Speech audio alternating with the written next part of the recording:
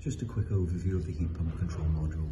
So here on the left hand side, we have the power used by the heat pump. When it's all the way at the top, it's 100%. Where we're sat currently is about 30% of its power being used.